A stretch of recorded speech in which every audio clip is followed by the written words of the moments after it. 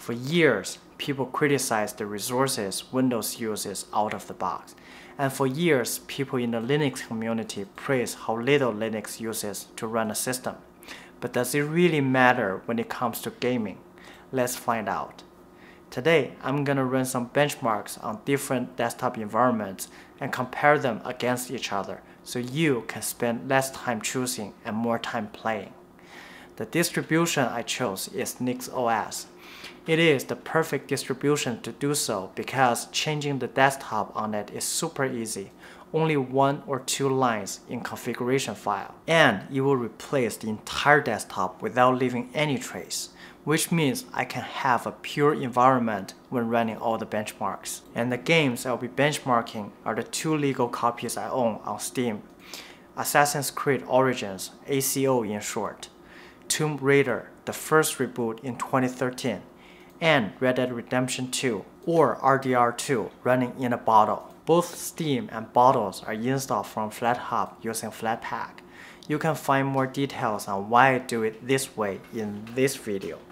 As for the desktops, GNOME and KDE will be using GDM and SDDM accordingly as it is the most common setup and they will be running on Wayland with only Assassin's Creed and RDR2. This is because I found that KDE Wayland performs much better on benchmarks compared to X11. The benchmarks of the Red Dead Redemption 2 and ACO were actually not too far behind compared to the stripped down gaming Windows 10. I won't run Tomb Raider on these two desktops because this game is 10 years old. I can't start it using NVIDIA on Wayland. The FPS is around 32 with the integrated AMD GPU inside this laptop. You could still use X11 instead if you want to play this game because even though the FPS result is not as good as Windows 10 on X11, it is still good enough to be more than playable as you will see later. The other desktops will be using X11 and LightDM combo. Let's start with KDE Plasma on Wayland. I'm getting 32 minimum FPS, 67 maximum, and 45.4 on average for Red Dead Redemption. While on Assassin's Creed Origins, it gave me a total of 86.51 with 72 FPS on average. The average FPS is exactly same as it is on Windows, and the overall frames are only 100 lower than Windows. That is how good KDE is for running games. The only issue is you can see four extreme glitches on Linux here, but it is clearly in the same league now. On GNOME, the results of Red Dead Redemption 2 are minimum 25.4 FPS, maximum 87.14, and average of 43 FPS. It is almost identical to the benchmark I ran on the Pure Fedora with same desktop environment, even though that is running through a USB 3.0 port on an external SSD. Assassin's Creed has an overall score of 8732 and the same 72 frame rates on average. Compared to KDE, the surprise is that I didn't see any glitches while running the benchmark this time, and the score is higher which is extremely impressive. Now we can see between the desktop that run on Wayland, KDE is only slightly behind Windows on both locations. GNOME has worse result on RDR2, but almost matches the Windows score on Assassin's Creed. However, with less than 100 overall frame difference, I would say KDE and GNOME are the same because if I rerun this benchmark several times on both of them, they may end up averaging out. Let's now go to XFCE, which is the default environment of Manjaro, one of the most famous gaming-oriented distributions. Let's see if it makes sense. The result of RDR2 is very similar to X11 KDE, with a dramatic range between 21.3 and 103.9, and the average is 45.18, which is worse than those on Wayland is the turn of Assassin's Creed. It has an overall frames of 8315 and achieved an average of 69 FPS, the worst performer so far. Even the CPU and GPU speed were slower than the Wayland desktops. However, I see only one or two tiny glitches this time, smoother than KDE. and Tomb Raider got 123 for its maximum, 78.6 for its minimum, and 103.2 for average. Clearly, XFCE cannot match the performance to those Wayland brothers, but let's see if he can still be the king in X11 at least, as we move to Cinnamon.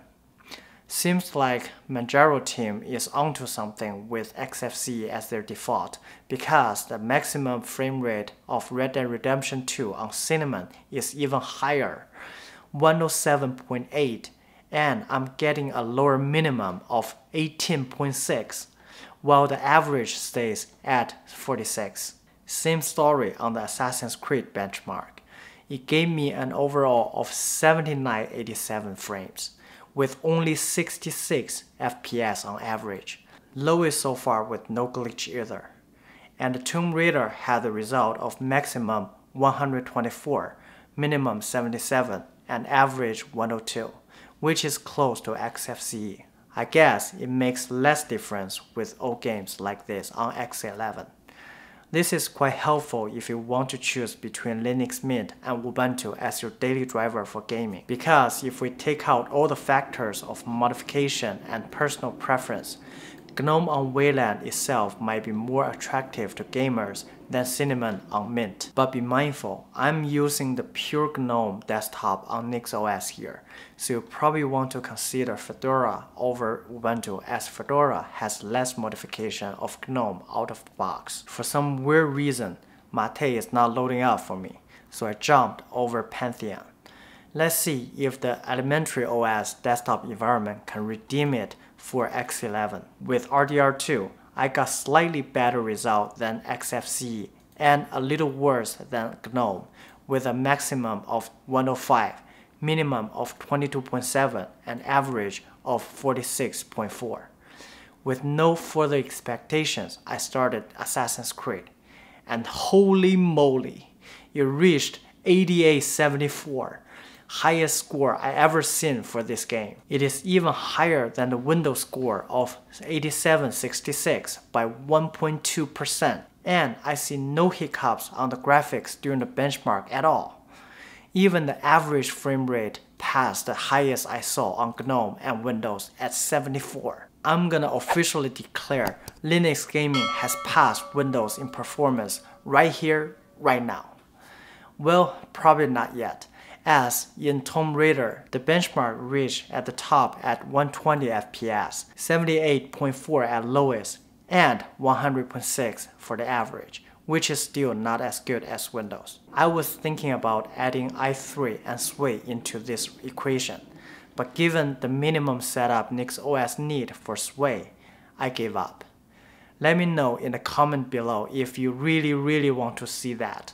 I will consider it if I can get enough signals from you guys, but probably in some other times and distributions. Now, based on what we have learned so far, if you only want to play older games from 10 years ago, you'd better stay with X11 because some of them don't support Wayland with NVIDIA. And it doesn't matter which X11 environment you choose, they're all similar. The only disappointment I had was to see Cinnamon had the lowest score of all given how much and how long I have loved it. And if you want to play newer games, the safest bet is to use KDE on Wayland. It will give you the stability and performance close enough to Windows.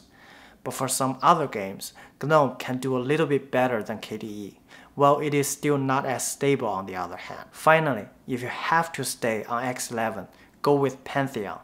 Even though it does not match the frame rates of GNOME in Red Dead Redemption, it beats XFCE. It has the best overall score for Assassin's Creed Origins, including Windows, and it can still play older games. True King in the X11 category. I know I also miss Budgie, but there is no official support in NixOS yet, so I had to postpone that into the future. And that is all for this video. Thank you for watching. I'll see you in the next one.